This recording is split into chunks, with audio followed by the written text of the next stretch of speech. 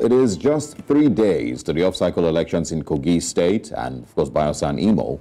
The last time that residents elected a governor on the 16th of November in 2019, violence nearly marred the exercise. Of course, that returned incumbent Governor Yahaya Bello for his second and final term.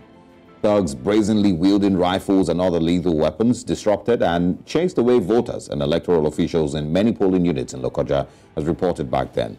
The state, uh, of course, Lokoja is the state capital, and of course, many parts of the states uh, where violence was also reported and uh, the stealing of ballot boxes. Now, some of the armed men reportedly wore police uniforms and drove around in Toyota Hilux vans, unaffected by official restriction of movement on election day. Now, as voters in the north central Nigerian state return to the polls this Saturday to elect Mr. Bello's successor, there are understandable fears of a replay of the 2019 disaster.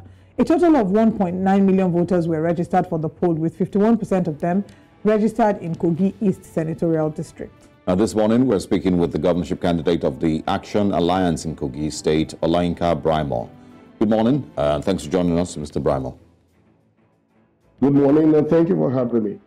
Uh, it's been a pretty interesting last uh, couple of weeks, months for you, I believe, in the build up to the elections. It's just a, a couple of days away.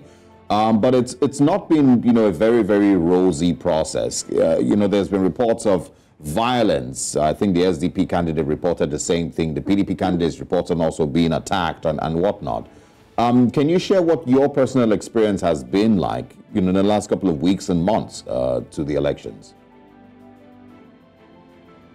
Yeah, in terms of violence, uh, of course, there's been uh, a couple of violence here and there. And uh, yesterday, we couldn't hold our meeting at the Kina local government because there were shootouts in the early hours of yesterday. So we had to disperse because of uh, intelligence reports of what had happened in the earlier hours of uh, yesterday. So the the violence you have bit of uh, violence here and there. Uh, I think the main concern and focus right now should be violence on election day, which is what we've been calling attention of the security agencies to, that uh, for them to be vigilant on election day, because of course, from what we hear, uh, the ruling party wants to destroy and cause chaos in areas where they're not popular, which is uh, their focus. That the areas they're not popular, they want to scatter the votes so that uh, everybody will record zero votes. Uh, that's the, their focus currently, uh, from what we gather. And, and uh, you know, you raised valid points as regards the polls, the security on the day of the elections, which is very critical. We did speak with a representative in Imo State a few days ago who shared with us that there was a state of apprehension in Imo State and a number of citizens were afraid uh, about the elections. Is there really that palpable fear? And uh, are there concerns that citizens may or may not turn up at the polls on the day of the elections? Yeah, uh, we, there are fears, but we believe strongly that what the security agencies will be able to do between today and tomorrow will determine whether people will turn out or not. Because if people see enough security presence around the state, uh, I think it will build their confidence in coming out and masse to vote. Because uh, violence or the scare or the fear of violence in itself does not help anybody. And we try to let everybody know because if the people are scared of coming out, uh, that means even you, that you are the current ruling party, you will not have votes as well because uh, everybody will need to go through the accreditation process before they can be counting of votes, before they can vote. So if people are scared and don't come out, it means there won't be accreditation. So it will affect everybody. So it is important uh, just to lend them uh, this uh, wisdom that it is important to allow people to come out and for the security agencies to uh, show presence. At least we were in Omala yesterday. Uh, we saw, to some reasonable extent, uh, presence of military men on patrol, and we believe they can do more. And if, if they're able to do more, a lot of people will have that confidence to to come out. Right. Do you do you also have confidence in in um, INEC, the electoral you know umpire? Um, of course, uh, we're taking the, taking uh, feed from what happened early in the year in February. Uh, there's a lot of criticism that the electoral umpire has faced, you know, for carrying out. You know, people have said very very um, fraudulent elections. You know, um, do you have confidence that INEC will be able to deliver free, fair, and credible elections on Saturday? Well, so far, I don't think they've shown us any reason why we should not uh, trust them uh, or take their word for it, especially the uh, words of the chairman. But what is most sustainable and most important is processes, following the standard operating uh, uh, procedures. Uh, the processes are the most important thing, and that's what our focus is. Because I mean, humans we are we're fallible, and uh, focusing on the processes, ensuring that the processes are followed, uh, the guidelines are followed.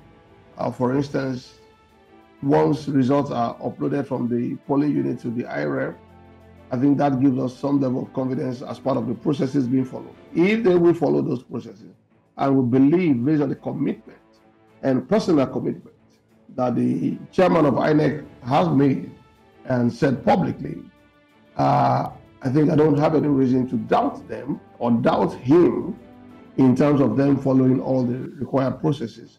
But you know, human beings are, uh, can frustrate processes, and those are the concerns uh, in some areas that uh, some people, because of inducement or whatever, might make attempts to want to frustrate the processes. So what we, we encourage INEC to do is to just have a, I mean, multi-layer and thank God there are observers to be able to ensure uh, processes are followed across the length and breadth of, of the state. All right, let's talk about the strength of Action Alliance as a political party in Kogi State. First of all, would you say that Kogi State is ripe enough to see uh, politics where the party that isn't the ruling party comes into power? We've seen that play out in some cases in some parts of the nation during the, these last elections where the ruling party was sort of shelved to the corner and the opposition or a, an opposition that wasn't seen as a formidable opposition coming to the forefront. So do you think that Action Alliance is able to wield enough influence at these elections to be able to, you know, topple the ruling party? Uh, what you have described is the exact thing that's going to happen this time around, uh, because uh, for the very first time you see uh, candidates from a relatively unknown party, uh, like I call myself the unusual. I am an unusual candidate uh, because we have an unusual situation. New to the politics of the state, uh, a new party in the state. I'm an unusual candidate because an unusual candidate is required to stop the unusual trend of poverty in our state. So, what you're going to see this Saturday is me emerging as the next governor of Kogi State. Uh, none of the candidates have done the kind of campaigns we've done across the state. None of them have been able to engage across the state. We've gone around all the senatorial districts. We've had engagement at multi-level engagement, uh, more than any other candidates in the state. And I'm quite hopeful and I'm um, confident in the fact that victory is the only option for us on Saturday. Well, I mean, I'm sure everyone, you know, would um, believe in the same thing. You know, the PDP candidate, I'm sure, also has similar thoughts. Same with the APC candidate, you know, that they've engaged. They have, of course, uh, sold themselves well enough, and the people of uh, Kogi State will, you know, give them victory. Um, but there are other factors, and like you mentioned, there are other factors that must come into play to ensure that the election is free and fair and credible.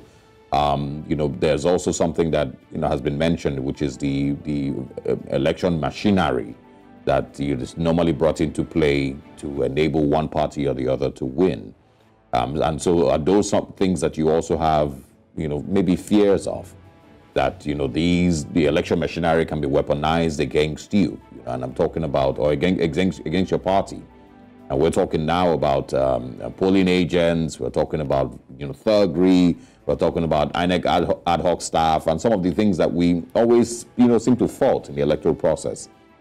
Are those things that you know you are concerned about, or do you have confidence that the people of Kogi State would come out in mass and they're, you know, 100% going to vote for Action Alliance? Olayinka Braimoh. Yeah, I have confidence in the fact that people of Kogi State will come out in mass to vote for Action Alliance on Saturday. Reason being that poverty has ravaged our people for too long and they understand our message, the clear message of wealth creation and wealth distribution, taking them out of poverty through our START agenda, STAT, solid minerals tourism, agriculture and trade, as means of driving in cash flow into our economy. Because the government can't make money if the people are not making money. We've been able to communicate this to the people of Kogi State, and they understand it quite well. There is no way the state government can make money if they are not making money. So our focus is to help our people to start making money. And this message is clear, and they are able to understand it. Uh, I don't think there's any other candidate uh, from any of those parties that you mentioned that has been able to communicate. Uh, I mean, in, just in one sentence, what exactly they want to do, and our people understand this. No, yeah, but the, the challenge here is the, the, the, challenge here. I apologize. I apologize, uh, Mr. Braimoh. I, I don't know how long you've been in the political space. Um, the, the people you're going up against, Dino Melaye has been a politician, you know, I, I would say ma ma majority of his career has been in the National Assembly. Um, of course, Yahaya Bello, you know, is def definitely going to be campaigning for, you know, um, um, his candidate. Um, but, but do you have the same, you know, do, do the people of Kogi State know you? Do they know you and, you know, what you've, you know, offered to Kogi State in maybe the last decade? Okay, all that those people that have been in power, that have been in politics, have delivered to the people of the state is poverty. I mean, so all their actions or inactions have delivered poverty to us in over two decades. Over two decades, is that enough time to establish trends? The trends have been that poverty has been on the increase in our state by virtue of their actions or inactions being in government. So uh, the clear message is this, and which the people understand I'm not just talking about the problems, I'm talking about the solutions. I mean, solutions like the fact that our budget for this year is 172 billion naira. 88% of the budget is dependent on federal allocation. And when you depend largely on the federal allocation, what it delivers to you is poverty. Because you can imagine a federal government that is owing 87 trillion naira, uh, closing Q1 2023. It means that the federal allocation will keep going down. It means that we must start making money uh, as government, how can we make money? If we don't make, if our people are not making money, we cannot make money. And uh, those that have been in power for so long, and people have been able to see what they're able to do, all they've been able to deliver to the state is poverty. So the, the decision processes, I think is clear. Uh, there's a clear choice for our people in Kogi State. Our people are smart people. Our people can uh, understand clearly and I know quite all right that our people make the right decision because they know at this the level of poverty in Kogi State is unprecedented. I mean, you can imagine families, people sending you SMS to beg for a transfer of 500 naira for them to be able to feed their family. Many families today in Kogi State are poor, they beg before they can eat. We're not even talking about education.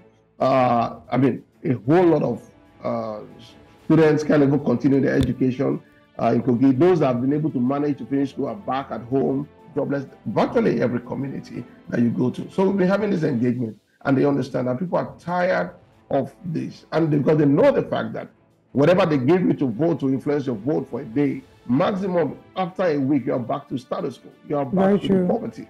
So, and they're making the choice to be able to go for uh, someone that will give them hope and guarantee them uh, success. Uh, uh, prosperity in the state for us to be able to start a new chapter of prosperity. I'm glad that you've mentioned, you know, poverty, you've mentioned hope, and you've mentioned prosperity. Poverty is not something you're not familiar with, at least from the stories that we've seen about you. You've had a very difficult growing up as well, and at some point had to drop out of school because you weren't able to pay your school fees. Now, because of this, you've also started paying school fees for a number of children, I believe, from, you know, some of the things that we've seen about you online. But let's talk about what your plan is Poverty is a problem that is deeply rooted in Kogi State. The citizens of Kogi State are suffering from it.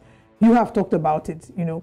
What is the plan now that we know what the, what the problem is? And I'm asking this because every other day we see politicians who come and share with us their stories as well of understanding the pain of the people, of understanding the poverty that the people have been with. They promise hope, but at the end of the day, they're not able to deliver.